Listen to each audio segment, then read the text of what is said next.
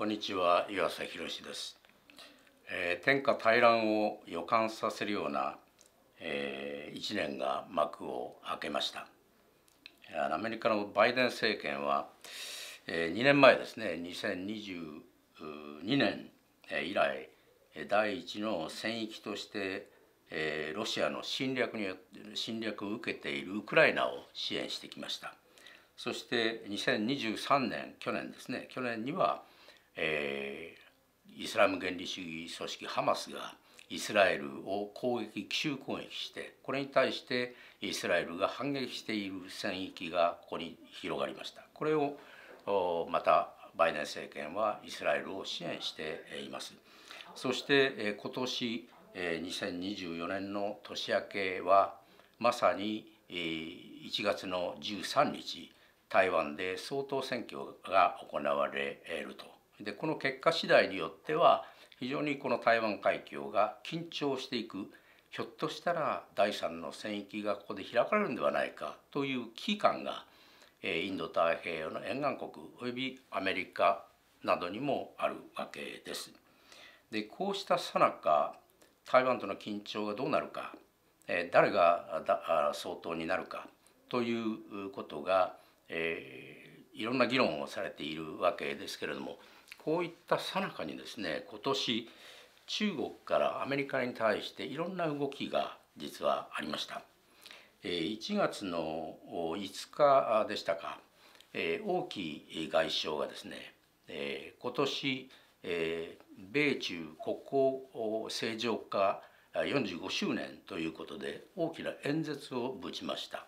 でその大きな演説なんですがまあ結論を言うとですねアメリカに対して中国に対して身構えることはせず尊重をしていくべきだと述べて、まあ、宗派を送っているわけですね。この尊重というのはまさにこの台湾が革新中革新的利益の中の革新であるというここに一点に尽きるわけです。で一方その習県庁というこれは中国共産党中央対外連絡部長えこれはまあ中国の共産党の中で外交を司る部署の劉県庁という部長がですねニューヨークに1月の9日に行ってやはり演説をしてアメリカに秋波を送っています。それは、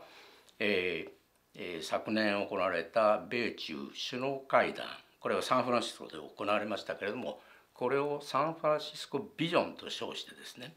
えー、まあせっかく雪解けデタントを結んだわけですからその米中の対立をせずに、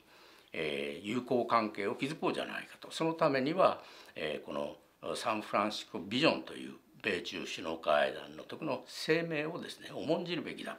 でそれはまさに、えー、中国にあアメリカがですね、えー、台湾に対して武器の輸出をしないとかこれはあのアメリカ側の約束ではなくて中国側の希望です。一方的に伝えた。あるいはその台湾を独立させないとかこれはあのやっぱり中国側の希望ですね。そういう希望を伝えた。これを尊重すべきであるというふうにこのサンフランシスコビジョンということを繰り返すことによってこのひょっとしたらですね台湾に新たな政権が誕生してもですね米中関係は穏便に行こうじゃないかという呼びかけですね。その背景にあるのはもちろん中国の経済的な衰退傾向が現れてきている。あるいは労働人口が減っている。そして GDP がですね徐々に減っていって4%前後になる。あるいは人口が今後どんどん減っていくことによって中国の国力がだんだん落ちてくるわけですからそれそういう危機感が裏返しとして米中間のこの緊張を緩和させたいあるいは政治的に問題が起きたとしてもそれは先延ばししていきたいという、えー表まあ、考え方の裏返しではないかなという気がいたします。したがってこの米中関係の今後ですねこの台湾の総統選挙の後日本は見守っていかなきゃいけませんけれども何があってもおかしくないような突発的な米中の緊張というのはいつどのように転換していくか分かりません。そういう意味でこの中国の最前線にある日本は新たな緊張のもとにですね何があっても最悪の事態を避ける最悪の事態に準備するそういう心構え覚悟を持たなければいけないというふうに思うわけであります。今日はこの辺で失礼します。